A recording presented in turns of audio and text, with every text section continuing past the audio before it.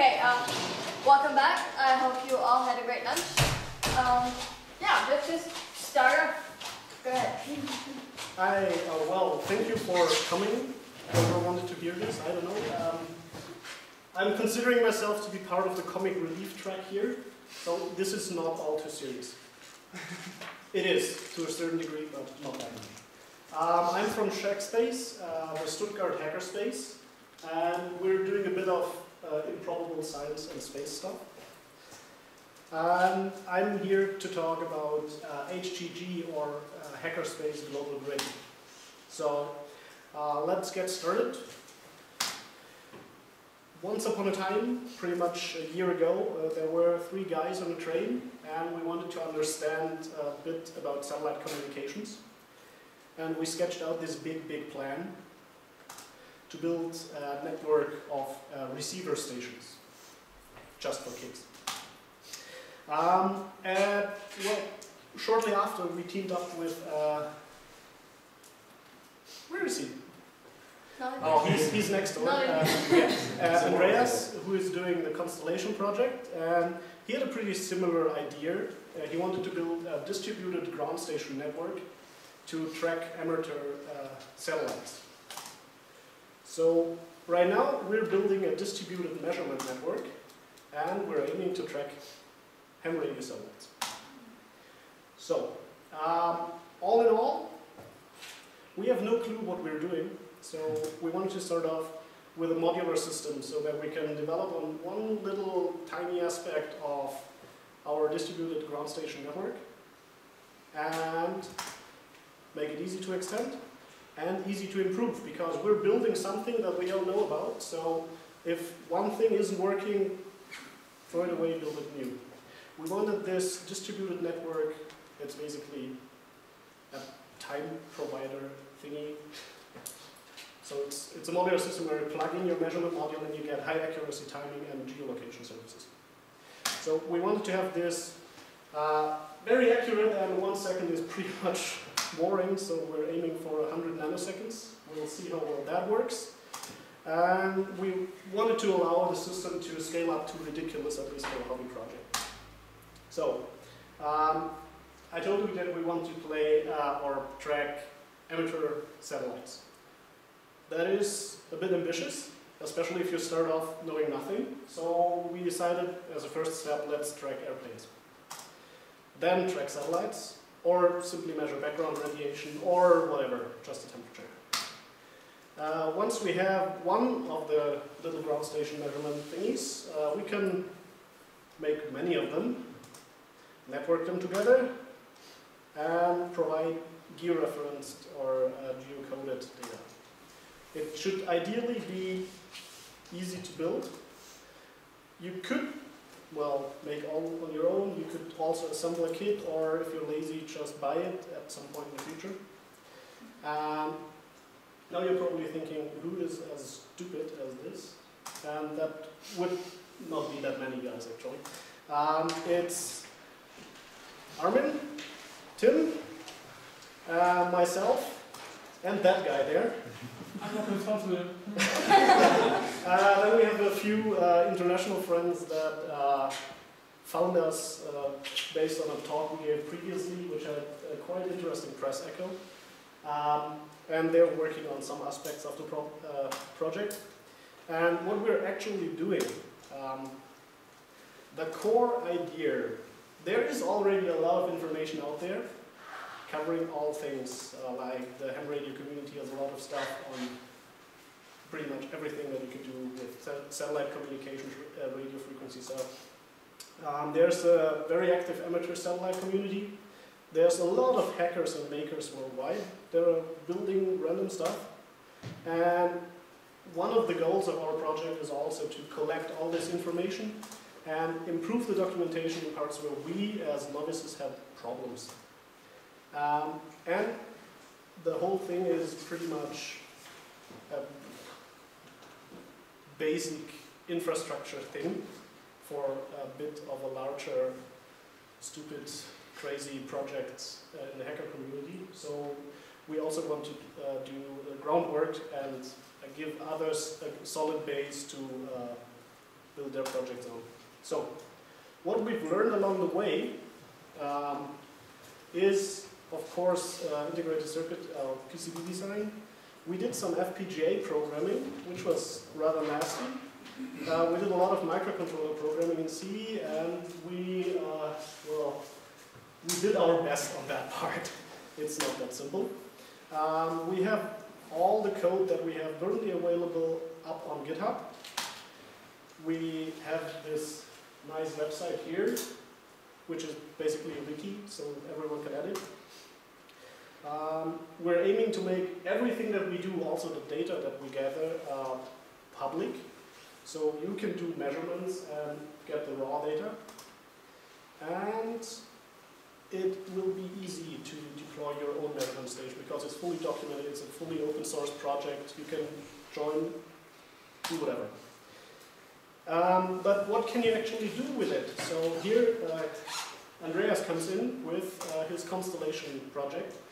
Uh, he wanted to track amateur satellites because there's that brief gap between orbit insertion and when uh, NORAD thinks it's a good idea to re-release uh, Kepler data. Uh, we're trying, or this is one of the goals, we're trying to track the satellites quicker than NORAD. We'll see how well that works. Um, the idea here is that we have multiple ground stations, at least five, ideally a lot more, and do uh, pseudo-ranging of uh, the beacon signal that these amateur radio satellites are sending out. So once we have this network in place, it's, the possibilities become pretty much endless because it's easy to plug in a different module and get, well, all the high accuracy timing and geolocation data for free. So you can do live tra tracking of background radiation levels, spot minute changes to environment over time, simply plug in a module that you design, it's an open. Um, yeah, and it's also the basis for if you want to do assisted GPS solutions. And many, many more. So, status quo. We've been busy over the last year um, building a backplane and some hardware.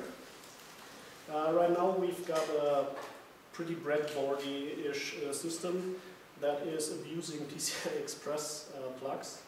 Um, it's basically a backplane, looks like this. Um, it, well, except for the paper part. um, the, the basic idea is each module gets plugged into one of these slots. We have one specialized module where you see the paper. Uh, it looks a bit different in the current version. Uh, that is handling all the arbitration and busmaster uh, stuff, interrupt handling, so the individual modules can communicate with each other. We have one power supply module. We are building one module uh, that we're using to uh, track ADSB signals with. This is the signal that commercial aircraft are sending out to tell everyone where they are, which will be a lot easier to uh, receive uh, than satellite beacons. And it should be rather easy to scale this up because we can simply go to well, nine slots. Right now we have four, uh, enough for prototyping.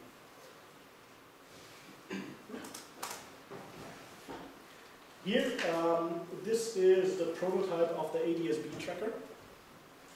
Um, it's based on a mini ADSB module. That you can buy this off the shelf, um, solder it together and have raw ADSB signals from all the planes that are flying around here.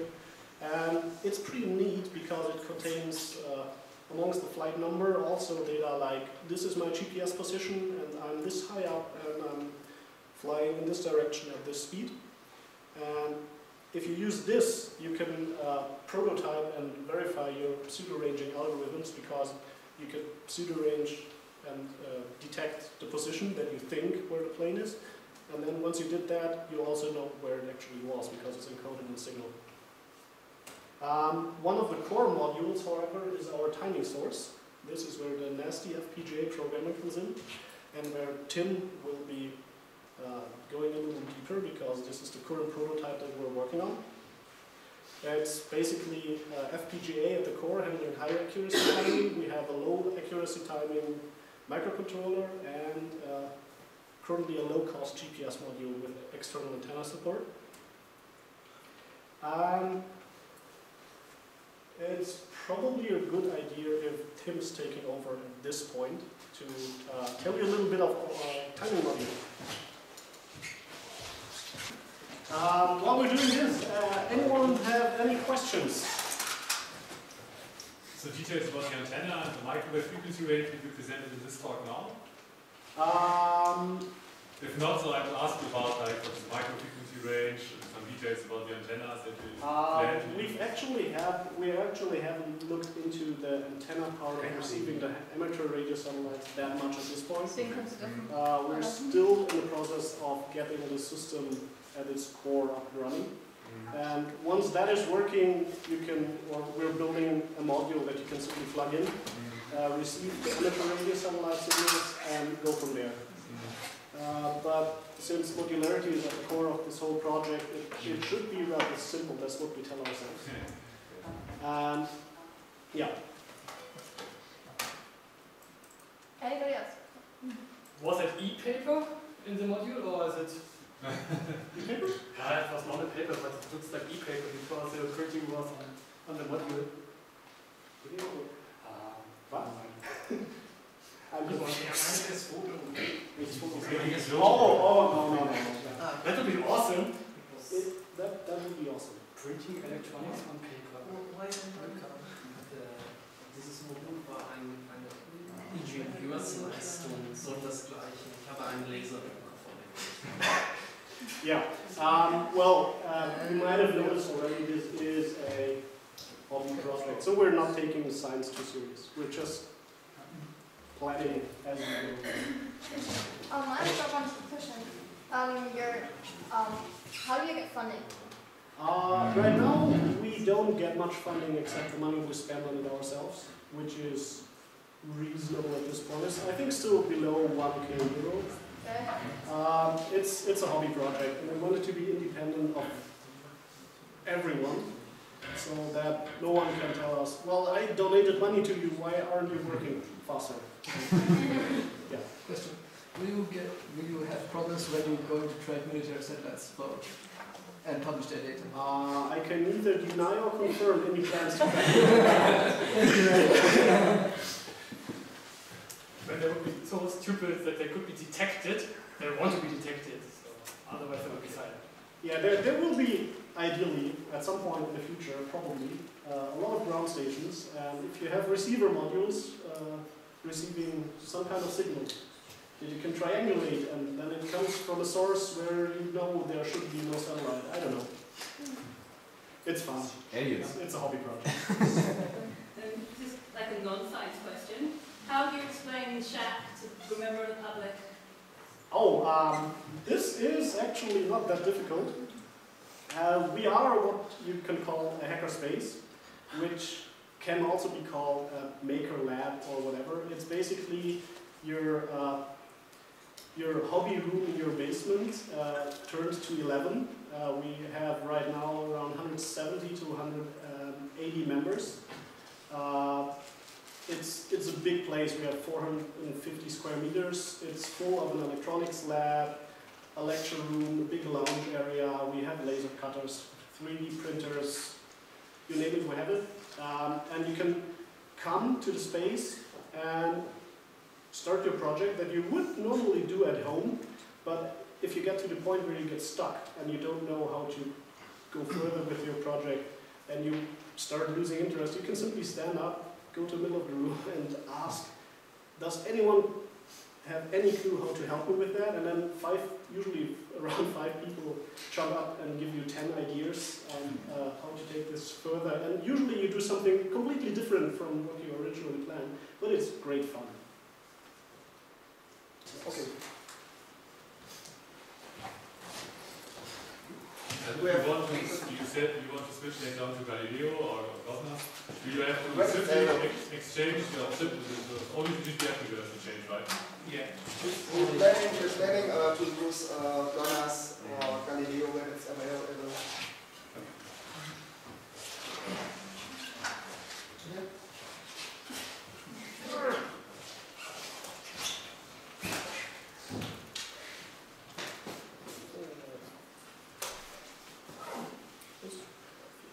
Uh, any questions so far on the timing hardware? Yes, maybe if I understood, if I understood it correctly, uh, the oscillator has to be precisely tuned to a specific frequency, right? We Yeah. have a normal oscillator on this Yeah. board for now, but we are planning to use uh, a uh, VC- uh, VCO, uh, a voltage controlled oscillator uh, to do a, um, um, a back, back backward uh, pass, and so we can uh, trim the oscillator that it's very accurate. Mm. But don't you have to be, uh, isn't that also more challenging to have a very precise voltage source? then? Or, We have uh, precise uh, voltage Okay, sources so on the, on the board, and that's why it's so big. okay. And uh, we have two voltage generators. Mhm. Um, here. Okay, Um, one. Mhm.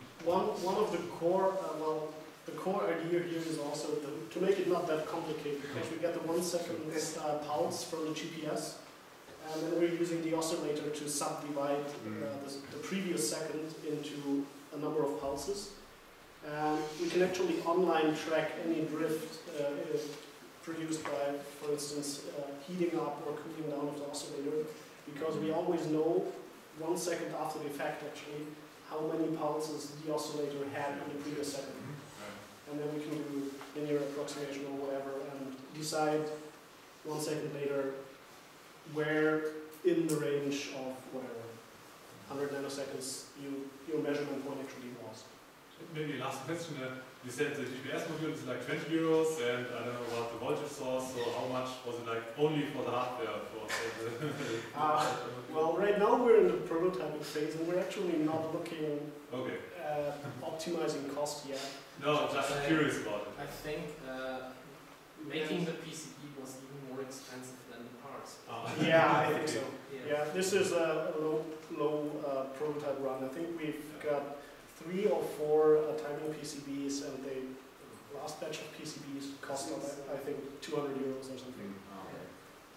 Um, in case you're wondering, um, we're meeting pretty much every Saturday at uh, the Hackerspace here in Stuttgart. It's in Stuttgart-Wangen. Um, we also, uh, if you want to keep in touch, we have a wiki set up at hgg.io. There is a list of open tasks, including colonization of Mars. So if you want to uh, something very ambitious, you can do that as well. Um, we have all our source code and uh, issue tracking uh, up on GitHub. So if you have a GitHub account, you can uh, raise bugs uh, against our stupid ideas. Uh, we have a public mailing list, which at the moment is not very active, but we're expecting this to change at some point in the future when we actually have something, and we also have uh, this little social media thingy in case you're whatever. Um, and that's it pretty much for us. So if you ever want to find out what we actually do at this thing called a hackerspace, you can simply come by and join us hang out for a minute or two. You'll even get the tour. Um, and well, every Saturday we meet up and do uh, citizen science stuff. Well, then, thank you for your time and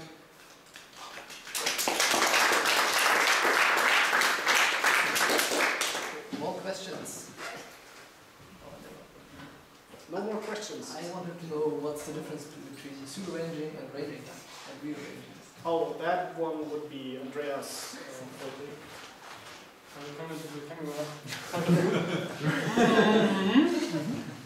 You picked a very good timing for pseudo ranging. My pleasure.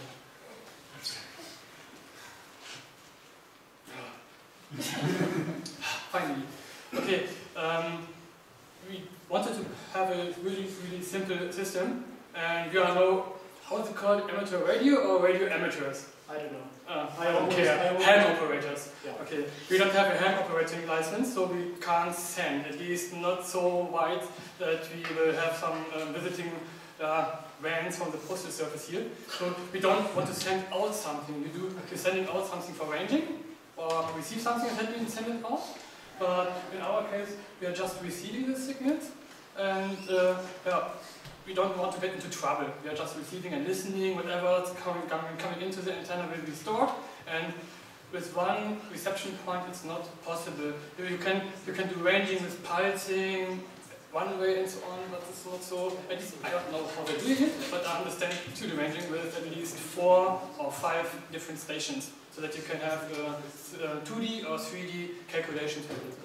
I think that's why that we are using this simple approach. Yeah. But the system is so modular that, afterwards uh, the user said, hey, I'm a hammer operator, the system is great, I will in Germany, in Germany we would call it frickeln, we will just do something together, glue it and it's working. And the, the person can do this afterwards, but he has to have the per perfect license for it and we don't have it right now. Ah, okay. Yeah, right now the system is, uh, if you're looking at any radio frequency stuff uh, or receiving something, we're fully passive. So we're not sending on anything. Until for now. Well, unless we're not planning to send anything, it might happen by accident. Any more questions?